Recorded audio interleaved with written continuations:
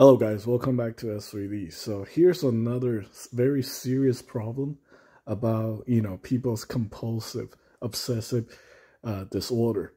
this is actually really, really interesting because some people can justify uh, supporting terrible people uh, because they're just, you know, obsessed over them and stuff like that. Now, this uh, varies based on, you know, uh, you know, things that you're, uh, you know, obsessing over versus like people you don't even care about. So let's say, for example, I think most of us, you know, who are collectors, you know, I, I think a lot of us have very poor opinion of that uh, social media influencer known as Logan Paul. You know, a lot of us think think of him as a piece of trash who just scams his viewers and then we don't understand why his viewers, you know, his fans continue to support him.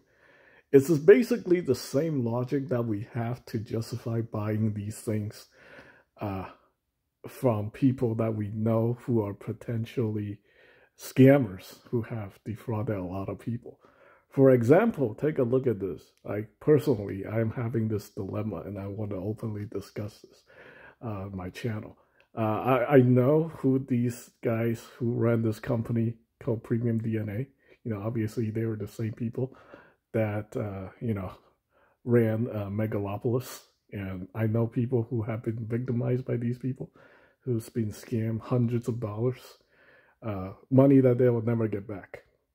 And also, uh, you know, these guys have damaged, uh, you know, the trust worthiness, if that's even a word for the uh, collector community, because nowadays people just don't feel like buying stuff anymore. And he has really, really bad ramifications, especially for sellers and people who are also unloading their stuff on, uh, you know, eBay and Mercari. Now it's getting harder and harder to sell anything uh, collectible wise. Like people just have to ask you a whole bunch of different questions, and then people back out on deals all the time and uh, it just it's hurting everybody. Like all of us are paying for this.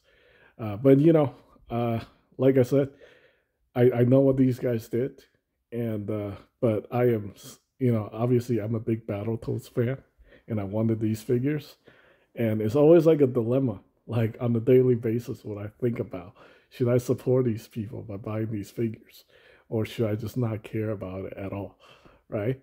I mean, I don't want to not I, I, I don't want to support them, but you know, uh, what's my other options on getting these type of figures? Uh, because they're the only one who makes them.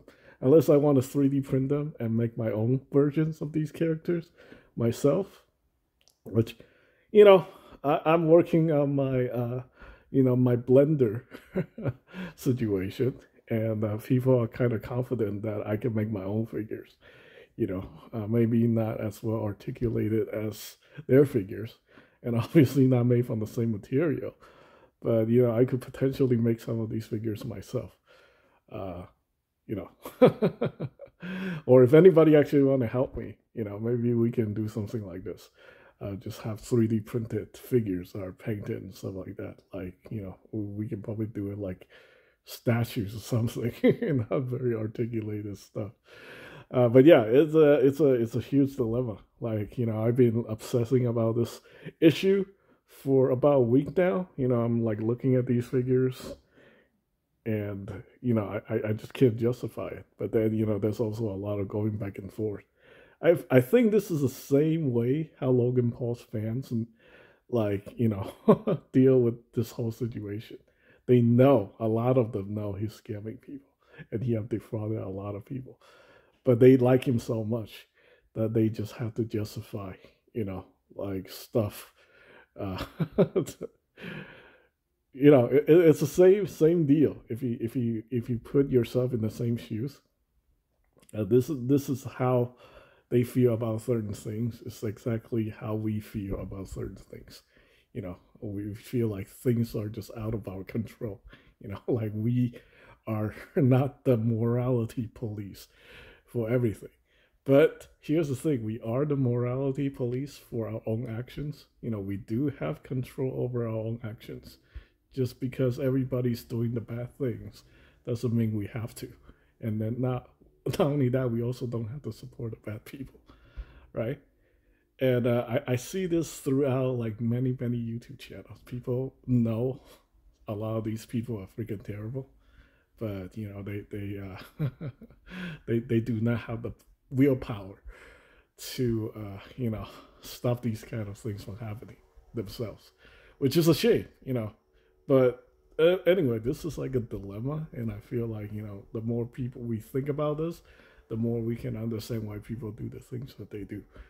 Uh, I am very very certain that like a large portion of Logan Paul's fans uh, know what he did, and they know what he did was wrong, but they they gonna continue to support him, uh, and it's probably the same reason why you know people like myself still obsess over these things, knowing that the people who who were involved in making these type of figures have, uh, you know, have scammed uh, their uh, their customers. Not only that, uh, they they actually got into the lawsuit with Entertainment Earth, where they owe like Entertainment Earth over four hundred thousand dollars worth of uh, you know like stuff that they never pay for. So again, you know, terrible people making these type of figures, and then you know, it's probably gonna have to be a lot of mental gymnastics for me to dance around this issue before I I can justify buying this figure. And really, like you know, uh, I hope people do actually call me out for this if I ever get any of these figures and feature on my channel, you know, people tell me like to go fuck off or go delete my channel or go jump off a cliff. Uh, I think all of that would be reasonable comments to say, you know, if something like this actually happened. But anyway, that's just my opinion. Let me know what you guys think. Thanks for watching.